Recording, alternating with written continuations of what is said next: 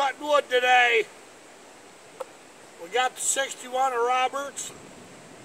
I like you saw. I'm gonna talk to you. You don't need this one. I'll swap it for another one. You don't want this one. Uh, this ain't no good. We'll, we'll give you something else in trade. Just tell me what you want, buddy. Look at our water here. Look at the mess we got. I mean, it's wet. It just a minute ago stopped raining. But look at our view. Show them this view here in this little crack.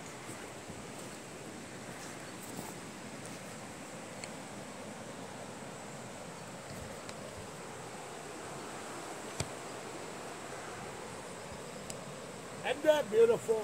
Come on. Hey, Sean, thanks for letting us come over here and cut this. Uh, I had to ask a friend if he had something I could cut something up with. And this was it right here. So, we're just going to let this camera run. Cullen's going to help me. We're going to work together. I got two saws to run. This is just one of them.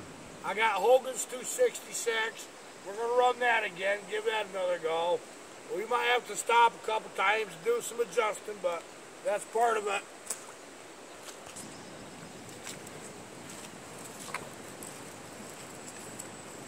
It's already been running a little bit, should be warmed up. We'll find out. Whoop.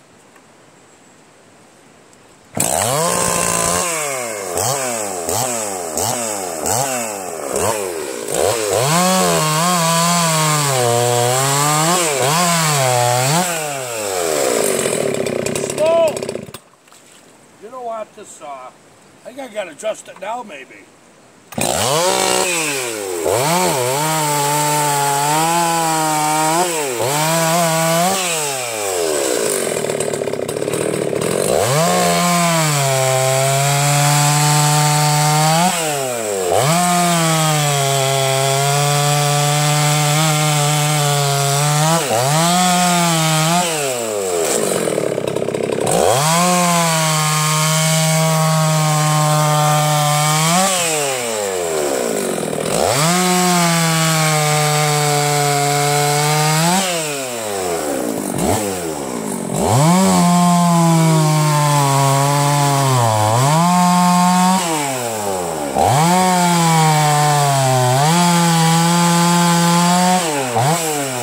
Oh.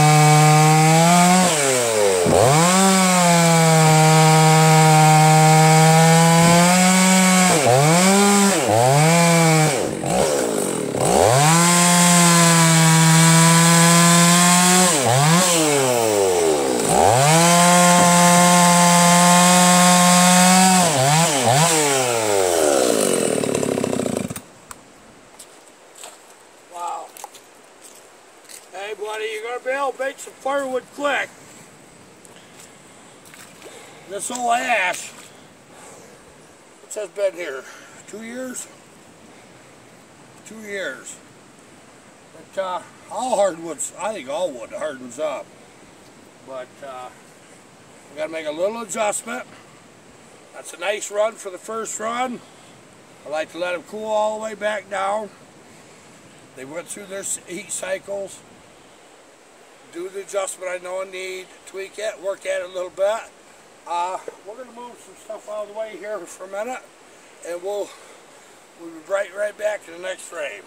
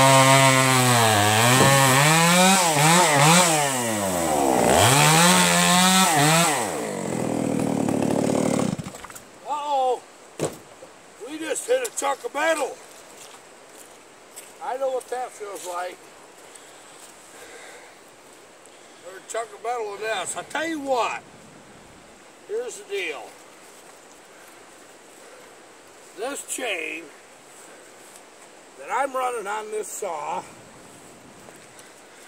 it's never been a chain that I like. I don't know what brand it is. There's nothing on the links. Nothing you can do to get that where that you want it. If you ever have one that just can be razor sharp or don't, there's something about the profiles wrong. This is one of them. And I'll tell you what, I doubt very much I'm going to even sharpen this one because I know I whacked something pretty good. There might have been a stone in the pile. That felt like metal. Uh, we'll find out. But here's the good opportunity. I'm going to put the other bar on this saw, and uh, we're going to give it another go. So we'll be right back.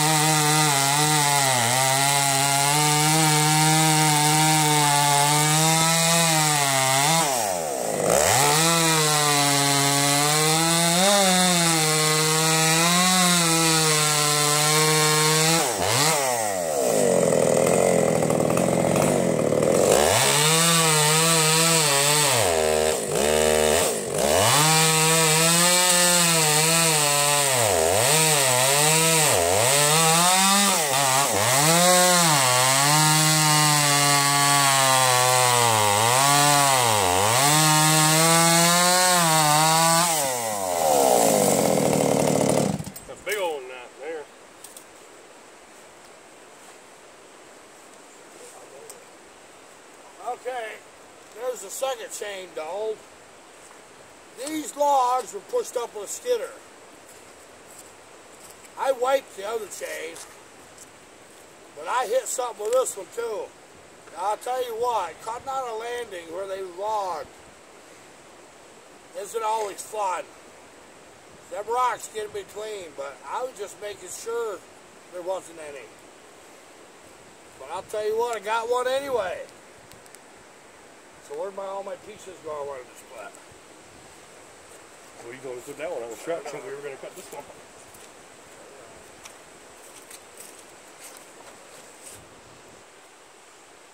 Well, this is my preferred my, my preferred method of sharpening is right here on the butt of a log, and this is a good one. Uh, I so far have managed to wipe one chain out pretty much fully.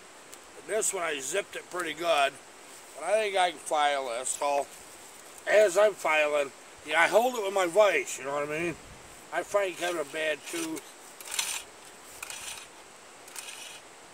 There.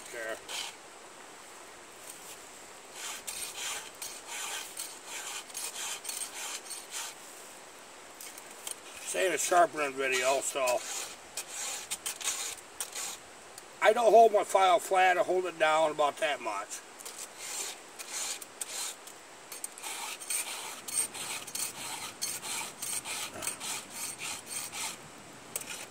last couple strokes are nice and light. You gotta get that point first, and I bring my corner around.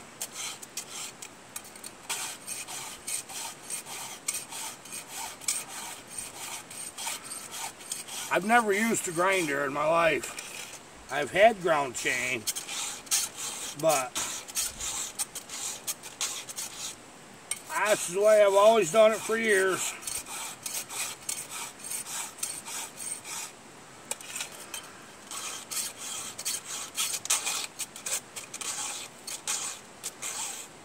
I don't think the oiler on this saw is quite right. Honestly, I, I really don't. Acts like it's oiling and then not oiling.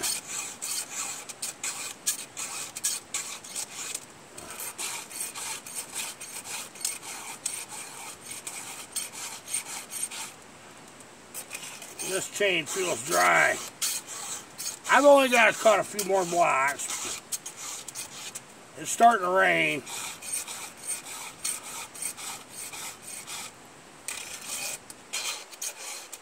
Kind of weird running a 20 inch bar, but that's what I had. So I said, well, I got bars on about everything I own for saws. I had this one left over. Lucky to have this. My surprised had a chain. I don't generally run this short of a bar. I'll tell you why. When you're fat and old like me, you don't like bending over any more than you gotta.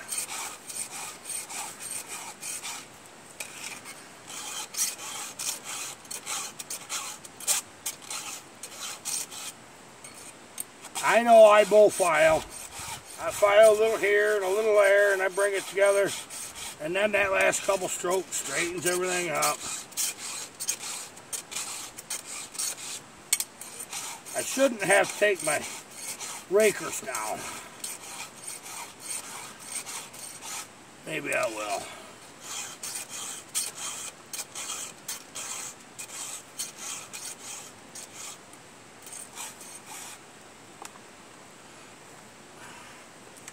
I'd love to take that camera and show you what that looks like when I'm done, but I doubt very much I could do it.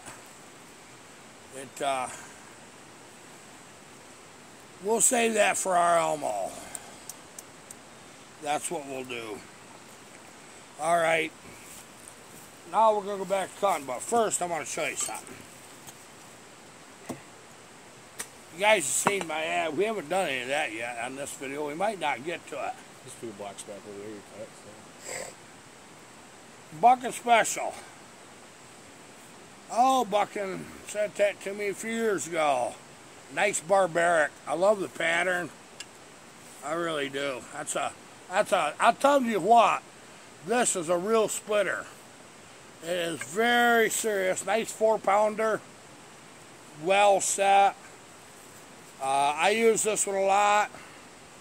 Got a couple little nicks in it, but nothing bad. Well, see, there's a sure sign of a splitter. It didn't stick. Okay, back to cutting.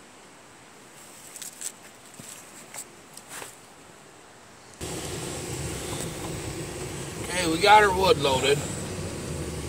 Had more darn things happen. It's funny. It's uh, the normal stuff. We had a piece of wood just come off the of the truck. I think we missed one. Look at this nice little creek right here and the little road. Wouldn't this be a nice place to live out here? Oh yeah, sure would. Well, looks like Colin's gonna have to get the gate. Narrow little road here. It's uh, you don't want to screw around on this one. It'd be in that crack. But uh, we'll watch Colin get this gate here in a second. See, uh, nice pile of logs over there. That's some good firewood. Too muddy to get that stuff cut up. It, uh, isn't a nice gate holder? And the little creek goes out that way. Another nice big pine there. It don't look like much right here, but that's a big pine. It, uh, the view in this valley is amazing. I never appreciated it until uh, I come home from the military. After being in the military, I come home, I couldn't believe what I had here. I took it for granted. Uh, yeah, this is good deer hunting, believe me. You like hunting and fishing? This is it. This is where you go. These areas like this. Boy, them lines are low. You see them lines? Oh yeah. Wow, that's low, low.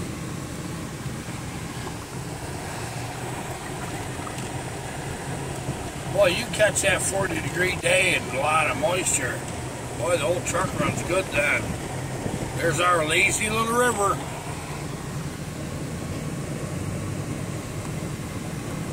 Around here, there's all kinds of roads just like this. I know it looks like the last road we was on. Uh, uh, it's not. Just off about five miles, four miles away from there. But uh, look at that herd of deer there. There goes the speed beef. That was fun running them saws. I like good saws.